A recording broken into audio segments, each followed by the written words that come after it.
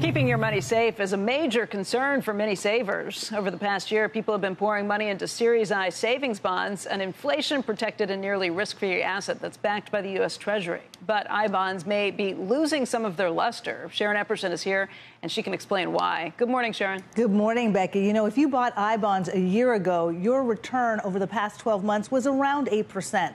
But starting today, you'll own about half of that over the next six months. As of today, May 1st, the annual rate on I bonds is 4.3% through October. That rate consists of a fixed rate of 9 tenths of a percent and an adjustable rate based on consumer price index data. As inflation has declined, the adjustable rate on I bonds has fallen. I bonds were offering an annual rate of 9.62% from May through October of 2022 and then 6.89% from November 2022 through the end of April. Now at 4.3%, the annual rate on I bonds is lower than some of the top rates on one year CDs and high yield savings accounts that may be earning close to 5%. I bonds also have some restrictions that may make them less favorable. You can only buy $10,000 worth each year. You can't cash them in for one year, and you'll lose three months' interest if you redeem them within five years. But I bonds also offer key tax advantages for long term savers. They're exempt from state and local income tax, which gives them a little edge over CDs.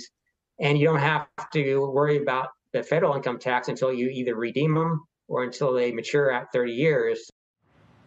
Tumin says that makes it very easy to hold I bonds for an extended period of time and not have to worry about taxes, Becky.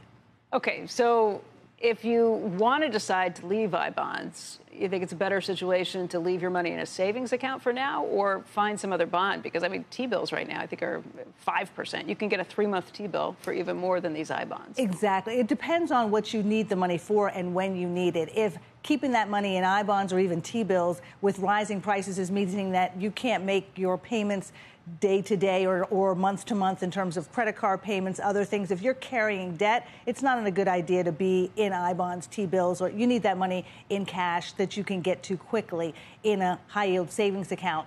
But if you do have that money and you don't need it right away, it is a smart move to think about whether or not the I bonds make more sense, particularly with those tax advantages. Yeah, and just with all the news we're hearing this morning on the banking system, there are Americans who are still concerned about keeping their money, at least for now. If it's above $250,000, the FDIC insurance limit, are you worried about keeping that in the banking system? Well, I think there are some people that are worried about that. Some people that still may not know that it's $250,000 for your account, per account, per individual. And I think it's important to also know that you can ask your bank if they're part of an IntraFi network, some type of banking network that will allow you, if you have more than $250,000, to spread that among many banks so that you have all of that money secure. I think people are still trying to figure out how do I make sure I keep my money safe and knowing that they have FDIC insurance, I think, is very important to point out, but to understand what those limitations are as well. Again, though, T bills, you can put them in government bonds, same exactly. thing, three or six month bonds, three months above 5%. And, and that's exempt from state and local taxes, too. I think you have to pay federal taxes exactly. on that, but not state exactly. and local. And there's no limit. You can put as much as you want in. And so that's why that's a good uh, opportunity for a lot of people. There was a, that rush a year ago into I bonds when we saw that over 9%. Everybody wanted it. But now there are other options. And I think it's a good opportunity to explore your options. Sharon, thanks very much. Sure.